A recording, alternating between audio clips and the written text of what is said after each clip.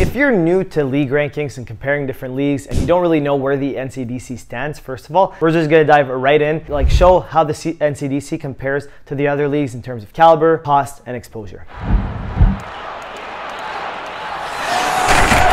What's going on guys? This is Brian from Advancement Hockey Advising here. Today we'll be talking about how the NCDC compares to other tier 2 junior hockey leagues. This topic is super polarizing, it's definitely the most polarizing out of any of the leagues when it comes to the NCDC. So obviously I'm going to open up a little bit, bit of heat for me and uh, you know, it's classic HA fashion. I always like to do these controversial videos here and see what the keyboard warriors have to say. Keyboard warriors, love you guys. Now before I dive into the video here of comparing the NCDC to the other leagues and get absolutely chewed apart by the keyboard warriors, why don't you guys absolutely destroy that like button instead of leaving a mean comment?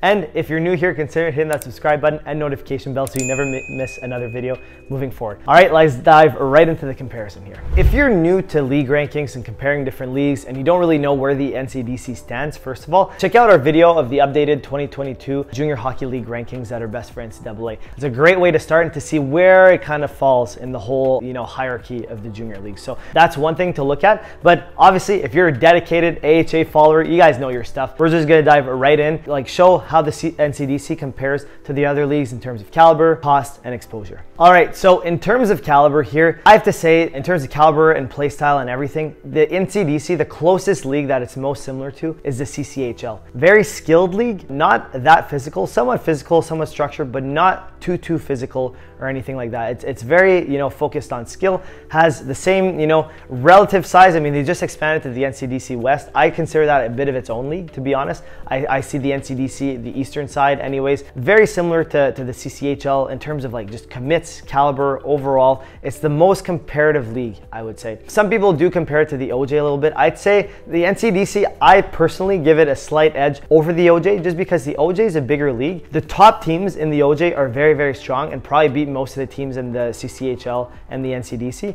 but those are only like the top three, four to five teams, you know. The rest of the teams are either like middle of the pack and a lot of teams aren't very good at all in the OJ. So because it's a little bit watered down, I have to give the slight edge to the NCDC and maybe put the CCHL just, just a little bit over the NCDC. But again, I'm biased, I'm from Ottawa, so take my opinion with a grain of salt. Both the NCDC and CCHL, in my opinion, are neck and neck. So in terms of caliber, that's where I kind of see these guys. In terms of like how the NCDC compares to other leagues, like the NA and the BCHL, you know, I would say those are good, you know, step above. The NA being more structured, more physical with the same amount of skill, it's definitely a good step above in terms of caliber, in terms of commits and all that stuff. And then the BCHL, probably like not that physical in the BCHL, but very, very skilled. Even a little bit more skilled in the NA, I would say, but less physical, a bit less structured. So the BCHL, super, super skilled, so definitely a good tier above the NCDC. Now, in terms of the NCDC compared to the AJ, the AJ is still a good tier above, I would say. If you look at our rankings, the AJ, we put him right below the BCHL and the NAHL. Very, very good league, super physical league, super structured league, very big guys over there. So it really, it's hard to compare those two because NCDC is more skill-based. AJ is very, you know, physical and stuff, but similar, the NA still got a lot of skill in the AJ. So maybe, honestly, it's hard to say if the skill is neck and neck between NCDC and AJ, but the physicality and the structure and all that stuff, I would just just say it's, it's a good tier above. Even the skill's probably a little bit above in the AJ as well. In terms of how the NCDC compares to the SJ and to the MJ,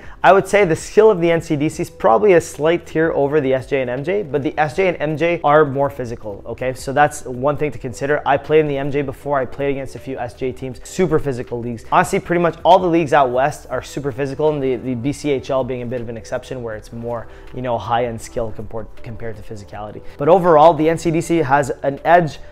I would say over the SJ and the MJ in terms of like overall skill, but the physicality, you know, brings up for the SJ and MJ. So I'd say the NCDC, SJ and MJ, there it's hard to compare, but I give the slight edge to the NCDC, which is why in the rankings we rank, rank them a little bit higher. And we're gonna get to commits and stuff afterwards where they have a slight edge as well. All right, now in terms of exposure and commits, so diving into this now, in terms of the NA and BC, honestly, you can't even compare them. Though the NA and the BC just commit so many D1 hockey players, like some D3 guys, but mainly D1 guys. NCDC, it's not even the same stratosphere. So you can't really compare them. Definitely a huge edge to the BC and the NA. In terms of the AJ, the exposure is similar. And here, here's my thought process with it. So the AJ has a few top teams that just commit so many guys. Like Brooks commit probably almost their entire team every single season. You can't even, if you discount Brooks and discount a couple other top teams, the rest of the teams compared to the NCDC, the stats are quite similar in terms of D1 and D3 commits. So one thing to consider here if you discount the top teams. But overall, if you are counting the top teams, the AJ definitely takes the cake in terms of exposure and commits. Next, if you compare it to the CCHL and OJHL, per capita, honestly, it's all pretty similar across the board. So I, would say like it's pretty much the same playing field. Some years the NCDC a bit more than other years compared to the CCHL or OJ a bit more than other years, but overall very, very similar. And compared to the SJ and MJ, the NCDC has a bit of a slight edge in terms of exposure, commits, just because of their location, I would say. But uh, some SJ teams and MJ teams, however, have been committing some guys D1 recently, quite a few guys D1. So Steinbach, a great example, they've been committing a lot of guys in the last couple of years. So sometimes you see anomalies like that, but overall, I'd say on average, the NCDC probably has a slight edge here. All right, now in terms of cost, this one's really important because not everybody can just dish out 20K a season, right? In terms of cost, the NCDC, it's nice, it's free, league tuition, team, all that kind of stuff. The only thing you have to cover really is the billeting fees. So usually you're looking at, you know, between 400 to maybe 600 a month on average. You know, it could be more, a bit more, a bit less, but it should be around there. 500 is a good number to consider. So if you do that times however long you're in your season for, so maybe maybe times, you know, six to eight months, something like that, you're looking at, you know, quick math, 3000 to $4,000, something around those lines of billeting. So it's not too, too bad considering they pay your food and all that kind of stuff. So it's not too bad. In terms of compared to other leagues, if you compare it to the NA, the NA is pretty much free across the board. There's a few teams that make you pay billeting, but overall it's free. So the NA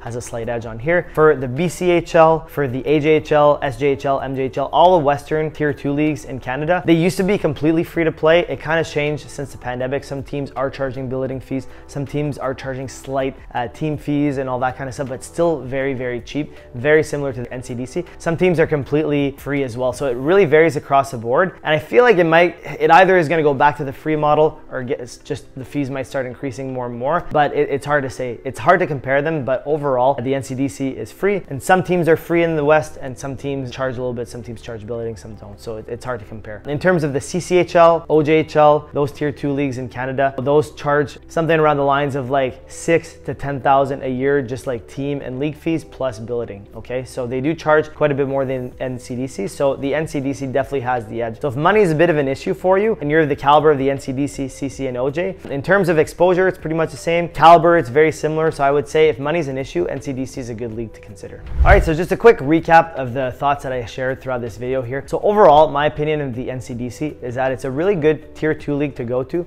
that's free to play where you have to pay only the billeting fees and you get good caliber, good exposure. It's on par, I would say, like very, very similar to the CCHL in terms of caliber, exposure, and everything, but it has a slight edge on cost. Overall, those are my thoughts of the NCDC. Hopefully you guys don't chew me alive too, too much about my opinion here. All right, guys, that is it for the video here. Hopefully you liked it. Hopefully you got some value out of it, and hopefully you understand how the NCDC is structured, what the caliber is, the commits are, the costs, and everything. Hopefully I gave you a better idea as to how it all works in junior hockey. So if you got some value out of this, if you like the video, if you haven't already, absolutely destroy that like button. And if you're new here, consider hitting that subscribe button and notification bell so you never miss another video moving forward. If you have any questions, anything whatsoever, feel free to drop a comment down in the comment section below or send us a private email at info at ahadvising.com and we'll get back to you as soon as possible. All right, guys, thank you so much for watching. We'll catch you on that next one.